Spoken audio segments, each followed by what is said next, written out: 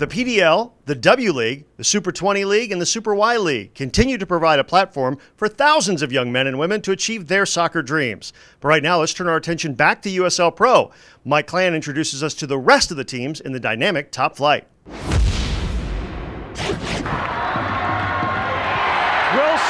Very few teams in this country have enjoyed as much success on the field as USL's Rochester Rhinos one of six teams in USL Pro's National Division for the 2011 season.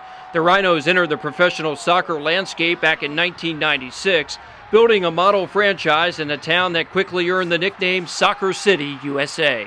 The 2011 Rhinos are looking to return to their championship glory days of the past, a storied history that includes three USL Professional League championships and bragging rights as the only USL team to win the prestigious Lamar Hunt U.S. Open Cup in the MLS era. In the Rhinos' path this season, five national division sides, three with USL experience, and newcomers FC New York and the Los Angeles Blues. FC New York has assembled an international roster that caters to the melting pot that is New York City.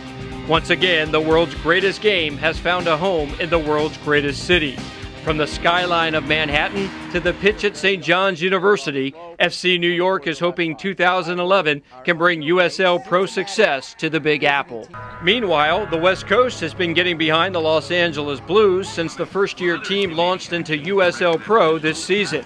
Head coach Charlie Naimo, a veteran USL coach and executive, is working with a blend of local and international talent to attempt to guide a Southern California team into the postseason for the first time since the San Diego Flash and the Los Angeles Salsa in the 90s.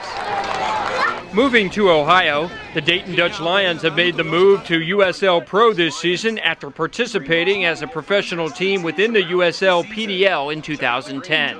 As their name refers, Dayton is a squad with a clear Dutch influence, from several Dutch players dotting the roster to head coach Ivar van Dinteren manning the sidelines. The Dutch Lions are making their presence known in USL circles by emulating the classic Dutch playing style, as well as establishing a formal affiliation with European side FC Twente of the Dutch Eredivisie, which will compete in the 2011 12 UEFA Champions League. In Pennsylvania, USL Pro fans are treated to an intra-state rivalry with the continuation of a USL Keystone State Derby between the Harrisburg City Islanders and the Pittsburgh Riverhounds. Pittsburgh has been around this neighborhood before, playing in USL's top division for much of the past decade and later also creating a stir in USL 2. They made it to the postseason last year before being knocked out by finalist Richmond. Nonetheless, three players, Jeremy Dayton, Shintaro Harada, and Hunter Gilstrap, were named USL's Second Division Rookie, Defender, and Goalkeeper of the Year, respectively. Now in USL Pro and a strong young team, Pittsburgh is hoping to get back to the postseason and survive a tightly packed National Division regular season. 2007. USL Pro's Harrisburg City Islanders claimed the USL's second division title before a national television audience on Fox Soccer. They'd like nothing more than to hoist the trophy again in 2011. Harrisburg has been a part of USL since 2004, and now four years after their championship run, the City Islanders have added a number of attacking pieces, including former University of Maryland talent Jason Herrick. Who can forget his goal in just the first minute back in 2008 as Maryland encountered Wake Forest on Fox Soccer? For USL Breakaway Magazine, I'm Mike Clan reporting. From the pros at the top of the USL pyramid to the stars of tomorrow kicking it in the Super Y League, United Soccer League's silver anniversary season is sure to be full of glittering memories.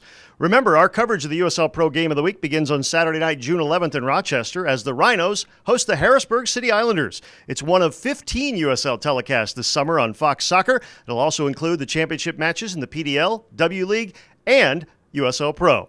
Be sure to check USLsoccer.com for the full schedule and stay tuned. Well, that's it for now, but our journey has just begun. Thanks so much for watching, and keep watching. For all of us here at the United Soccer Leagues, I'm Kenn Tomasch. See you next time on USL Breakaway Magazine Show.